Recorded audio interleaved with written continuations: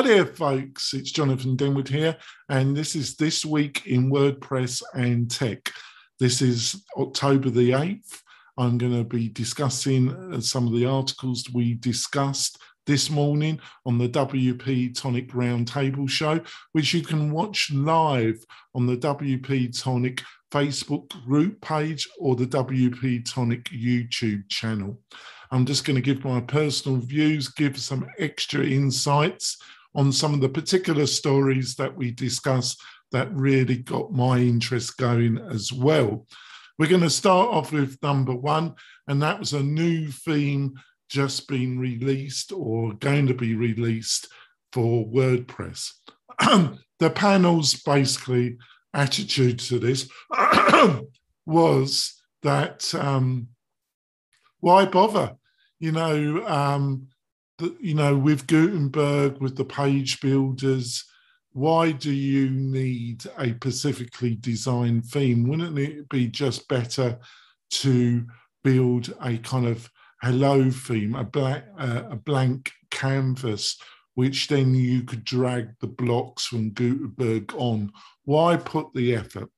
Now, number two of the thing was a piece done about Steve Jobs. Um, it's the 10th anniversary of Steve's death, the founder, the joint founder of Apple.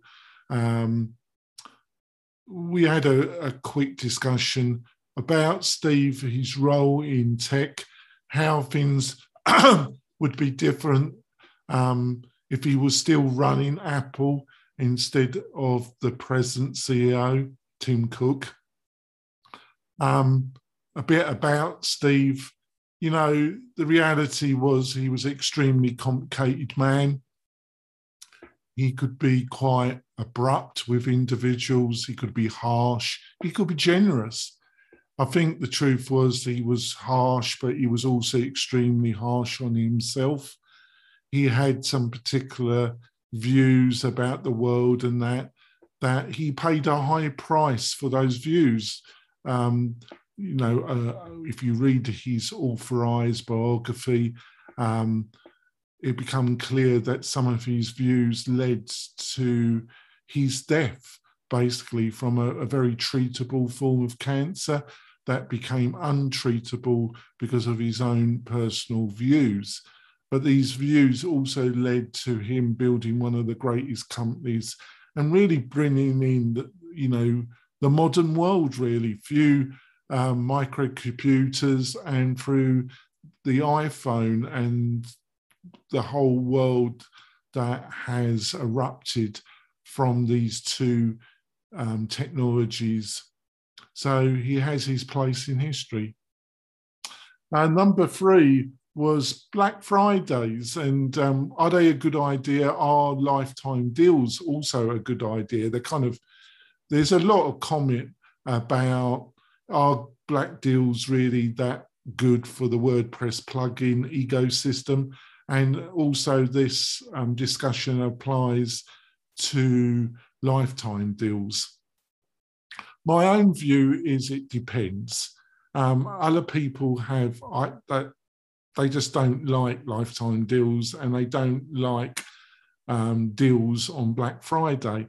My position is, like I say, it just depends you know, um, if you're trying to get a plugin and get it exposed, doing a deal on AppSumo, um, utilizing their massive marketing reach and doing the figures though and understanding your figures um, and understanding why you're using AppSumo. The other thing is you might want the cash to help you um, jumpstart more development of your plugin or SaaS. It applies to the WordPress Ego plugin as much as it does if you're bootstrapping a SaaS product. Why you would look at Sumo, why you would do um, lifetime deals, or um, also the um, a lot of people mention lifetime deals. It affects the value of your business, and especially if you've got a subscription element. Um, that it reduces the value. But the point is that um, I think um, there's getting some slight um, pushback on the sc- subscription model because there's fatigue entering the market um, for individual um, people in the WordPress community, implementers. There's so many plugins out there, there's so much choice, so much activity going on in the WordPress sector that um, keep laying down money on yearly, monthly subscriptions, it all soon adds up. So I definitely see sign of fatigue entering the market. Doesn't mean you can't be successful, but it also means you've got to be realistic about how you're going to launch, how you're going to get the wheel rolling, how you're going to get your product going in the right direction.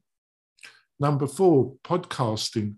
Um, we had um, Craig, the founder and CEO of Castos, the major sponsor of our show, joining us on the Roundtable Show. He's a great guy, a great supporter of the show, and a founder of a great product, SaaS based model that offers tremendous value in podcasting. That this article that we discussed was that the figures prove um, to some extent that podcasting is becoming more and more popular. Um, live streaming is also gaining popularity. We discussed some of the reasons why that could be. Will that continue? You need to look, um, watch, or listen to the podcast about what we said about that. Then we go into bonus content. The bonus content is another half hour which you won't be able to listen or watch on the uh, podcast or on the YouTube channel. For you to see the bonus content, you've got to go to the WP Tonic uh, Mastermind Facebook group and sign up and join the group, and you'll be able to see the whole um, live podcast plus the bonus um, uh, element of it. And one of the key stories of that, and what what interested me most has been the um, what has been happening around Facebook. Now they they had a whistleblower. She was on 60 Minutes, and um, I'm just quickly looking at my notes. So I apologise, folks. And um, I think it's been quite dev- devastating and a peeling of the curtain of what's really been going on at Facebook. Mark Zuckerberg, um, I consider him, and this is my opinion. It's nothing. It's not the show's opinion. It's not the panelists' opinion. It's solely my opinion. Mark is a total sociopath, um, supremo. He's always been a sociopath. He just cares about the green, the money, and the power. He don't care about anything, anybody, his own family, he doesn't really care. He just cares. He's a sociopath. Um, but in a strange way, he's an honest sociopath. I know this sounds ridiculous, but he's never hidden what he is. He's never attempted to, you know, I know his PR handlers and his media handlers have worked on him and he's become a bit more polished, a bit more acceptable when he's thrown in front of the media, but it's still pretty obvious what he is. Um, it's always been there in front of us. His actions haven't changed. He hasn't modified um, his attitudes. There's been numerous reports about how he operates his company and the people that he attracts to his higher management. But my real scathing remarks are at the executive team at Facebook and the board of directors of Facebook because they're not sociopaths. They just willfully don't care. Um, they're just interested in making a ton of money for themselves. And example, Sheryl Sandberg. Now, I, I really haven't got two halfpennies for the woman. Um, she is the darling of the democratic liberal elite. There isn't a fundraiser in the Bay Area or uh, online calls that is around women's rights or any minority. And don't get me wrong, I'm not attacking those causes, but there's not a dinner party, a, a charitable event, or online petition that Sheryl won't join, that she won't talk about on her Twitter, that she wraps herself with the blanket of liberalism and progressive idealism. But when you look at her actions, there's nothing that particularly attractive about her, her actions, and her support of this sociopath of a CEO.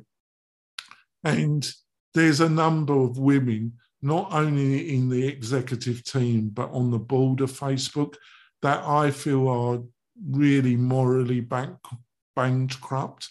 And why do I say that? But um, this is kind of personal to me because my marriage, I was married to an American lady that had a major eating disorder and she had it for years and it destroyed our marriage. So I have personal understanding of the damage eating disorders do. And these women, not only on the executive team of WordPress, um, WordPress, sorry, uh, Freudian slip there, Facebook, um, and of the board of directors of Facebook were, were given, must be, must have been aware of these reports and research around how damaging Facebook and Instagram is to a particular age group of young women between the ages of 12 and 18, and how the research showed that these particular platforms really as exaggerate and make the situation even worse for vulnerable young women. For them to decide not to act on this research and to bury it is so morally bankrupt and disgusting that they're disgusting and morally bankrupt, in my opinion. The other figure that um, pronounced on this is Nick Clegg. Now, he is the vice president of global affairs at Facebook. Reportedly, he gets paid over 10 million a year for his activities.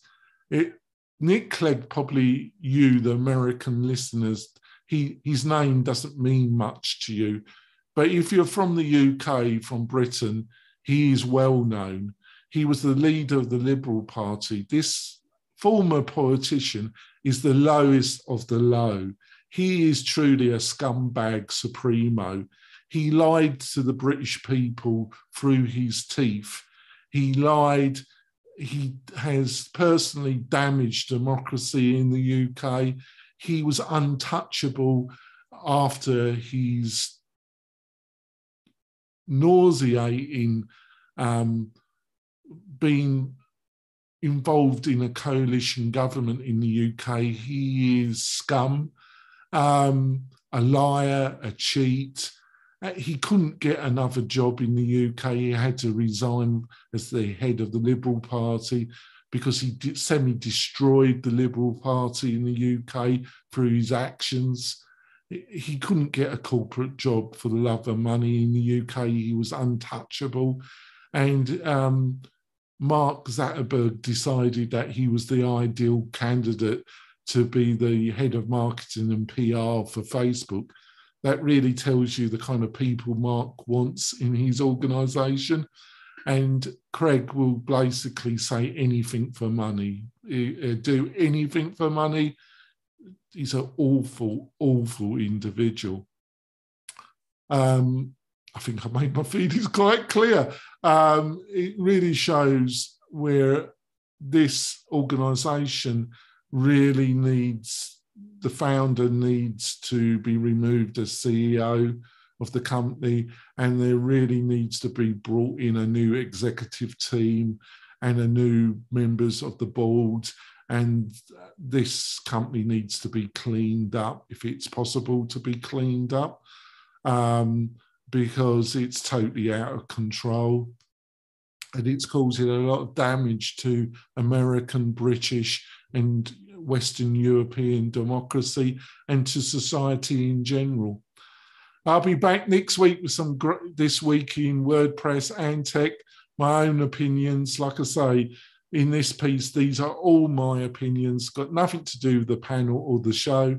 Hopefully, you enjoy them. Please give me a thumbs up so I can continue these videos. Join us on the live show and join us on the Facebook group um, where we discuss the stories. And if you're into WordPress or into building your own business, uh, on the internet. You'll find it a great group. I'll see you soon, folks. Bye.